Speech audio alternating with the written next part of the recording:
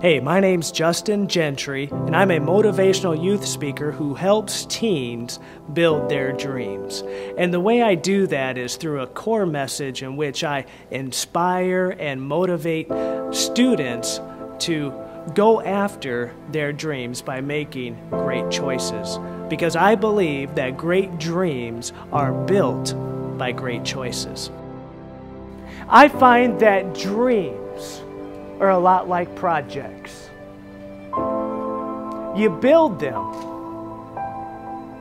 one choice at a time.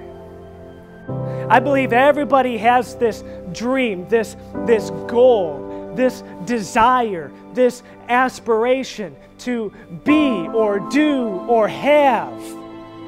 Somebody, I, everybody has some kind of dream. I want you to identify that dream.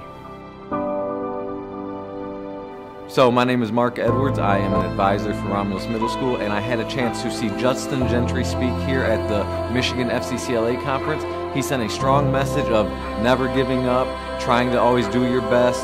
He gave a strong uh, message of how you need to overcome obstacles in life where things when things go bad you need to continue to strive to do your best and how things can continue to just get better by having a positive mindset. So justin did a really nice job speaking to our students.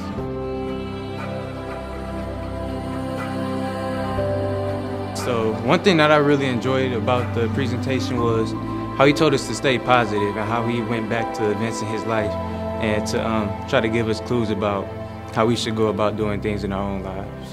And also, like another thing that I really liked was um, like the activity that they used with the football. I think that really did show like a good representation of like just you know just like how regular football players just like always try to stay a hold of football no matter what which is just a good representation of your dreams and what you want to aspire to in life. You see, great dreams are built by great choices.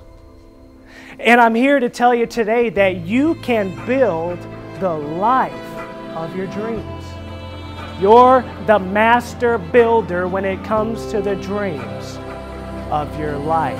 And you're going to have to go after it in spite of challenges.